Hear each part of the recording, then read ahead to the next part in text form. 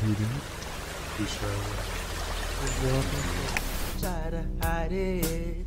I think I like it when you get chestnuts roasting on an open fire.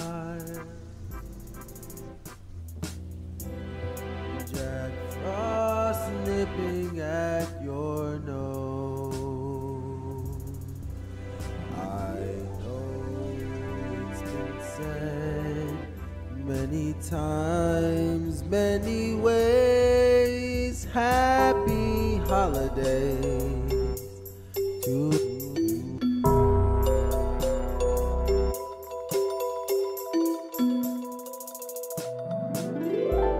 So I'm offering this simple phrase for kids from 1 to 92. I know it's been said many times, many ways. Happy holidays